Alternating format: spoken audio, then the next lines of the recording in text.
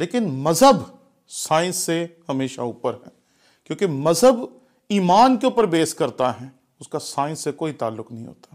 کیونکہ مذہبی لوگ جس خدا کو مانتے ہیں، آج تک سائنس اسے سمجھنے میں ناکام رہی ہے۔ سائنس آج تک اس خدا کو ہی نہیں سمجھ سکی۔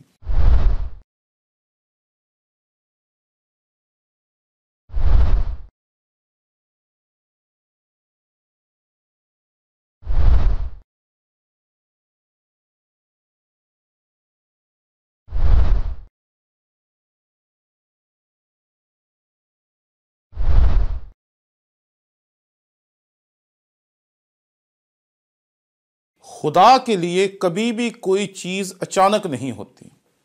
ہم اچانک کا لفظ خدا کے لیے استعمال ہی نہیں کرتے۔ کیونکہ خدا جو ہے وہ علیم کل ہے۔ اسے سب کچھ پتا ہے کب کیا ہونا ہے، کیسے ہونا ہے اور کیسے ہو سکتا ہے۔ آج ہم ایک حالت میں ہیں جس کو کوارنٹائن کہا جاتا ہے، جس کو اردو میں کرنتینہ کی حالت کہتے ہیں۔ یہ وہ حالت ہے جس میں بیمار کو صحت مند لوگوں سے علیحدہ کر دیا جاتا ہے۔ اور جو صحت مند لوگ ہیں، انہیں بھی کہا جاتا ہے کہ وہ ذرا اپنے آپ کو اپنے گھروں میں بند کر لیں تاکہ ایسا شخص جو اس مرض کا شکار ہو کہیں ان کے پاس پہنچ کر ان کو بھی بیمار نہ کر دیں۔ یہ سائنسدانوں کی ایجاد نہیں ہے۔ ہزاروں سال پہلے جب خدا بنی اسرائیل کو اپنی شریعت دے رہا تھا، تو خدا نے انہیں یہ سکھایا تھا، جیسے کہ وائس کہتا ہے، وہ کہتا ہے، دنیا میں کوئی چیز نہیں نہیں۔ اور یہ کرنتینہ بھی کوئی نئی چیز نہیں ہے۔ یہ اپنے آپ کو بیماروں سے علیحدہ کر لینا یا بیماروں کو اپنے درمیان میں سے نکال دینا، کوئی نئی بات نہیں۔ بنی اسرائیل میں یہ طریقہ کار تھا۔ کہ جب بھی کوئی بیمار ہوتا تھا، جس تو، جسے کوڑ ہو جاتا تھا یا جریان ہو جاتا تھا یا ایسی کوئی اور وبا ہو جاتی تھی، تو اس کے لیے یہ شریعت میں حکم دیا گیا تھا کہ ان کو اپنی لشکرگاہ سے باہر نکال دیا جائے۔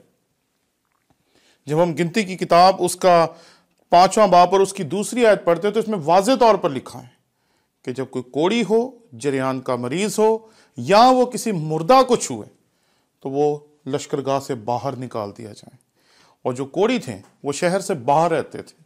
اس لیے یہ جو کچھ بھی آج ہو رہا ہے، اس میں ہمیں پریشان ہونے کی ضرورت نہیں ہے۔ بلکہ ہمیں اس حوالے کو دیکھنے کی ضرورت ہے۔ یہاں کہا گیا، تسلی دو، تم میرے لوگوں کو تسلی دو۔ اور ہمارا جو کردار ہے، وہ لوگوں کو تسلی دینے والا ہونا چاہیے۔ ہمارا کردار لوگوں کی زندگیوں کو بہتری کی طرف لے کے جانے والا ہونا چاہیے۔ نہ کہ لوگوں کو پریشان کریں، دکھی کریں اور لوگوں کی پریشانی میں اور زیادہ اضافہ کریں۔ آج میں جس شخصیت کے ساتھ آپ کا تعارف کروانا چاہتا ہوں، وہ مسیح خداوند ہے۔ وہ ایک ایسی شخصیت ہے جو دنیا کی ابتدا سے لے کے آج تک اور دنیا کی انتہا تک ہمیشہ ہر ایک چیز کے اوپر اس کا اختیار رہا ہے۔ کبھی بھی اس دنیا کی کوئی حالت اس کے اختیار سے نکلی نہیں، ہم جب اس کی موت کو دیکھتے ہیں، تو اپنی موت میں بھی پورے کا پورا اختیار اس کے پاس تھا۔ لوگ میڈیکل کے مختلف اصولوں کے تحت ہمیں بتاتے ہیں کہ شاید اس وجہ سے مسیح خداون کی موت ہو گئی، شاید اس وجہ سے مسیح خداون کی موت ہو گئی، شاید ڈی ہائیڈریشن کی وجہ سے، شاید ہارٹ اٹیک سے، شاید اور کوئی اس کے جسم میں ایک ایسی زبردست قسم کی تبدیلی آئی جس کو اس کا جسم برداشت نہیں کر سکا اور وہ مر گیا۔ سائنسدان بہت اچھی باتیں کہتے ہیں۔ لیکن مذہب سائنس سے ہمیشہ اوپر ہے۔ کیونکہ مذہب ایمان کے اوپر بیس کرتا ہے، اس کا سائنس سے کوئی تعلق نہیں ہوتا۔ کیونکہ مذہبی لوگ جس خدا کو مانتے ہیں، آج تک سائنس اسے سمجھنے میں ناکام رہی ہے۔ سائنس آج تک اس خدا کو ہی نہیں سمجھ سکی۔ کیونکہ مسیح خداون نے تب جان نہیں دی جب اسے کوڑے مارے گئے، تب جان نہیں دی جب اسے کیل ٹھوکے گئے، تب جان نہیں دی جب اس کے اندر ڈی ہائیڈریشن کی وجہ سے اس کی حالت خراب ہو گئی، جب اس کی حالت خراب ہو گئی تو اس نے سرکہ پیا پانی کی جگہ پر۔ بالکل ہی الٹ۔ کیوں؟ کیونکہ اسے پتا تھا کہ یہ چیزیں مجھے مار نہیں سکتے اسے پتا تھا۔ کہ وہ تب جان دے گا جب وہ خود کہے گا، اے باپ، میں اپنی روح تیرے ہاتھوں میں سونپتا ہوں۔ اور اس نے جب کہا، تب وہ مرا۔ اس لیے اس کا اپنی موت پہ بھی اختیار تھا۔ اس نے اپنی زندگی میں کہا، مجھے اپنی جان دینے کا بھی اختیار ہے اور اسے واپس لینے کا بھی اختیار ہے۔ اس کا اپنی موت پہ اختیار تھا۔ اور یہ دنیا کی تاریخ میں واحد شخص ہمیں دکھائی دیتا ہے، جس کا اپنی موت پہ اختیار تھا۔ اس کا مردوں میں سے زندہ ہونے پہ اختیار تھا۔ بائبل میں بہت سے مردوں کے زندہ ہونے کے واقعات ہمیں دکھائی دیتے ہیں۔ جس میں سارپت کی بیوہ کا بیٹا ہے، اس کے بعد ایک شونمی عورت کا بیٹا ہے، اس کے بعد ایک اسرائیلی شخص ہے جس کا میں نام بھی نہیں پتا، اسے ایک نبی کی قبر میں ڈالا گیا، وہ نبی کی ہڈیوں سے چھوا اور زندہ ہو گیا۔ علیشہ کی ہڈیوں سے چھونے سے مردہ زندہ ہو گیا۔ اور اس کے بعد ہمیں نئے عہد نامے میں بہت سے معاوضے ملتے ہیں جس میں مردہ زندہ ہوئے، جس میں یائر کی بیٹی ہے، لازرس ہے۔ جب مسیح یسو مسلوب ہو رہے تھے، جب انہیں انہوں نے اپنی جان دی، تو بہت سارے جو مقدس تھے، وہ قبروں میں سے نکل آئے۔ بہت سے مردے زندہ ہو گئے۔ لیکن یہ تمام مردے جو زندہ ہوئے، کسی کے حکم دینے سے، کسی کے چھونے سے، کسی کے کہنے سے، کسی کے ہاتھ لگانے سے، کسی نہ کسی وجہ سے زندہ ہوئے۔ صرف مسیح خداوند ہے، جسے نہ کسی نے حکم دیا، نہ کسی نے باہر بلایا، نہ کسی نے کہا کہ اٹھ کھڑا ہو، نہ کسی نے کہا کہ تجھ میں دم آ جائے، نہ ہی ایسی کوئی اور بات اسے کہی گئی۔ وہ جب مرا تو تب مرا جب اس نے اپنی روح خداون کے حضور دی۔ جب وہ زندہ ہوا تو تب زندہ ہوا، جب اس نے زندہ ہونا تھا۔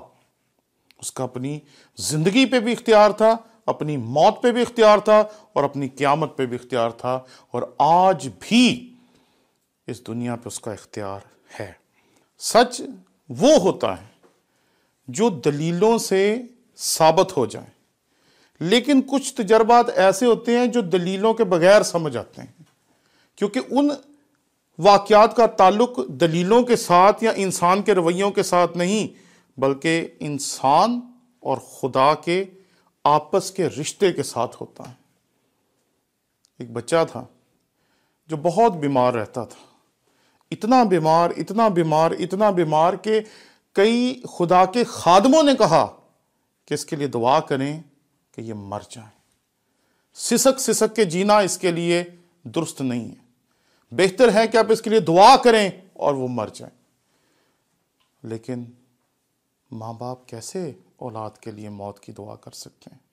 ماں باپ روتے رہے، دعا کرتے رہے، روتے رہے، دعا کرتے رہے، روتے رہے، دعا کرتے رہے۔ اور خدا نے کب اس بچے کو صحت مند کر دیا کسی کو نہیں پتا۔ سائنسدانوں نے کہا کہ بچے کو مرگی ہو گئی ہے، بچے کو یہ ہو گیا، ذہنی طور پہ مفلوج ہو گیا، ایسا ہو گیا، ویسا ہو گیا، اور یہ مر جائے گا۔ لیکن وہ نہیں مرا۔ وہ آج بھی زندہ ہے۔ اپنی زندگی کے بیس سال وہ دیکھ چکا ہے اس دنیا۔ اور جب وہ چھ ماہ کا تھا، تب ڈاکٹروں نے کہا تھا، یہ مر جائے گا۔ سن انیس سو چھیانوے، جنوری کی بات ہے۔ گڑی شو میں کلورین گیس یا کسی اور گیس کا سلنڈر جو تھا، وہ لیک ہو گیا۔ ایک سو پچانوے لوگ لاہور میں مر گئے۔ وہ گیس جب جسم کے اندر جاتی تھی، تو دم گھٹنا شروع ہو جاتا تھا۔ سنا ہے کہ جی جب کرونا انسان کو اندر سے کھوکھلا کرنا شروع کرتا ہے، تو سانس نہیں لیا جاتا۔ جس کا دم کبھی گھٹانا نہ ہو، اسے پتہ ہی نہیں ہوتا کہ دم کا گھٹنا کیا ہوتا۔ جب سانس باہر جاتی ہے اور واپس نہیں آتی، تب بندہ کیسے مچھلی کی طرح تڑپتا ہے؟ یہ بتانے سے سمجھ نہیں آتا، یہ تجربے سے سمجھ آتا ہے۔ سن انیس سو چھیانوے ستانوے میں جب یہ واقعہ ہوا تو اتنے لوگ وہاں مرے کہ بس نہیں۔ ایک بچہ تھا جو تین ہفتے تک ہسپتال میں رہا اور وہ آکسیجن کے بغیر زندہ نہیں تھا رہ سکتا۔ جیسے ہی اس کا آکسیجن اتارتے تھے، وہ آہستہ آہستہ اسے لگتا تھا میں مر جاؤں گا، اس کا سانس اکڑ جاتا تھا۔ وہ جیسے ہانپتے ہیں، جانور ویسے وہ ہانپنا شروع کر دیتا تھا جانوروں کی طرح۔ پھر اس کو ایک دم سے آکسیجن لگاتے تھے، پھر وہ ٹھیک ہو جاتا تھا۔ تین ہفتوں کے بعد ڈاکٹر نے کہا اسے لے جائیں، کیونکہ ہمارے پاس اس کی بیماری کا علاج نہیں ہے۔ وہ گیس کرتی یہ تھی کہ انسان کو اس سے الٹیاں آتی تھی اور الٹیاں کرتے کرتے کس ٹائم خون آتا تھا، پتہ ہی نہیں تھا چلتا، اور اس خون کے ساتھ انسان کے پھیپھڑے پھٹ جاتے تھے اور لوتھڑے بار آنا شروع ہو جاتے تھے اور اسی لمحے وہ بندہ مر جاتا تھا۔ تین ہفتوں کے بعد ڈاکٹروں نے اس بچے کے باپ کو کہا کہ اس بچے کو آپ یہاں سے لے جائیں کیونکہ اس کے پاس ہماری، اس کی بیماری کا ہمارے پاس علاج ہے ہی نہیں، آپ اس کو لے جائیں۔ باپ تھا نا، ایک کونے میں جا کے بڑی دیر تک روتا رہا۔ کیونکہ جب اسے کہا گیا کہ اس بچے کو گھر لے جائیں، شاید یہ گھر پہ ٹھیک ہو جائے، تو اسے پتا تھا کہ ہسپتال میں جہاں چوبیس گھنٹے اسے آکسیجن دی جا رہی ہے، یہ وہاں نہیں زندہ رہ پا رہا، تو گھر میں کیسے زندہ رہے گا؟ اس نے آ کے اپنے بیٹے سے پوچھا، بیٹے، کیا کریں تیرے ساتھ؟ انہوں نے تو ہمیں چھٹی دے دیا کون سے اسپتال لے کے جائیں؟ با، بیٹے نے اپنی عقل کے مطابق کہا، کسی اور ہاسپٹل لے جاؤ. اور جب وہ دوسرے ہاسپٹل میں گئے، تو دو گھنٹے کے بعد ڈاکٹر نے کہا کہ اس بچے کو لے جائیں، یہ بالکل ٹھیک ہے۔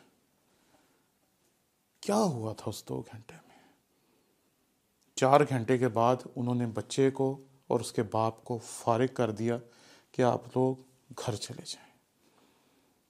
کیا ہوا ہوگا اس چار گھنٹے میں؟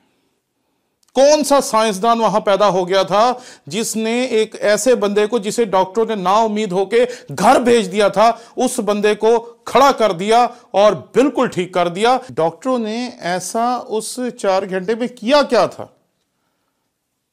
کہ وہ بندہ بالکل ٹھیک ہو گیا تھا۔ تین ہفتے تک جو انتہائی نگہداشت کے یونٹ میں تھا، جسے ڈاکٹروں نے فارغ کر کے بھیج دیا تھا کہ یہ ہمارے پاس اور دیر رہ نہیں سکتا، کیونکہ ہمارے پاس اس کا علاج ہی نہیں ہے۔ اس بندے کو چار گھنٹے میں ڈاکٹروں نے ٹھیک کر دیا، یہ ناممکن۔ دراصل ہوا یہ تھا کہ جب وہ ایک اسپتال سے دوسرے اسپتال میں جا رہے تھے، تو اس بندے نے آسمان کی طرف دیکھا۔ اور آسمان کی طرف دیکھتے ہوئے اس نے خدا سے ایک بات کی۔ اس نے خدا کو کہا کہ خداوند میں تیرا خادم ہوں۔ میں تیرا نوکر ہوں۔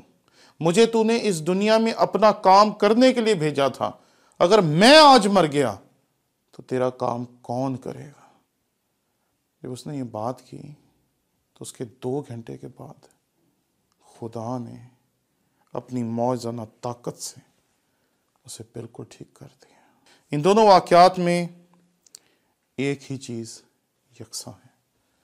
اور وہ یہ کہ یہ جو شفا ہے، یہ کسی انسان کو، کسی دوسرے انسان کو دینا ممکن نہیں ہے۔ دوائیں انسان دے سکتے ہیں، احتیاط انسان بتا سکتے ہیں، لیکن خدا کس وقت حالات میں داخل ہوتا ہے اور حالات کو بدل کے رکھ دیتا ہے، یہ انسان کے لیے ممکن نہیں ہے۔ وہ بچہ جو چھ ماہ کا تھا اور جس کی موت مانگنے کے لیے لوگوں نے کہا تھا، آج بیس سال بعد بھی زندہ ہے۔ وہ شخص جو چھیانوے، ستانوے میں اتنا زیادہ بیمار ہو گیا تھا کہ ڈاکٹروں نے کہا تھا کہ اسے گھر لے جائیں، شاید یہ نہ بچیں۔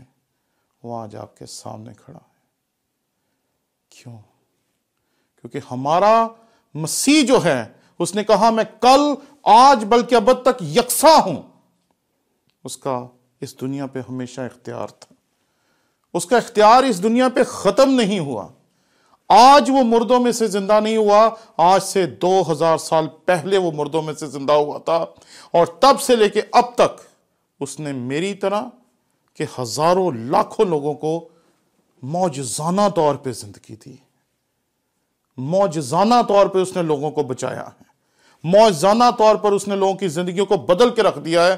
ایسی ہزاروں داستانیں ہیں جس میں لوگوں کو کہا گیا کہ بس اب آپ لوگ فارغ ہیں۔ جب ہم ایمان کی بات کرتے ہیں تو ہم اس خدا پر ایمان رکھتے ہیں جو قادر مطلق ہے۔ قادر مطلق کا مطلب ایسا ہوتا ہے جس کے اوپر کوئی حد نہ ہو، جو کچھ بھی کر سکے اور وہ ہمیشہ اپنے لوگوں کے لیے سب کچھ کرتا ہے۔ اس لیے آج آپ لوگ خوشیاں منانے کے موڈ میں ہیں، لیکن خوشیاں منا نہیں سکتے۔ آج بچے چرچ جانے کے موڈ میں ہیں، لیکن چرچ جا نہیں سکتے۔ کیونکہ ہم اس وقت جس موسم میں سے گزر رہے ہیں، یہ کوارنٹائن کا موسم ہے۔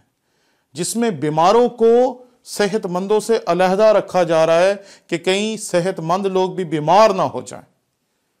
یہ اصول ہمارے خدا نے اس دنیا کو دیا تھا۔ اور اب اس خوبصورت دن پہ یہ ذمہ داری میری بھی ہے اور آپ کی بھی ہے۔ تسلی دو میرے لوگوں کو، تسلی دو۔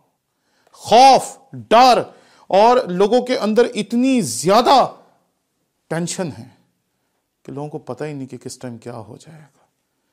ساری دنیا پریشان ہے۔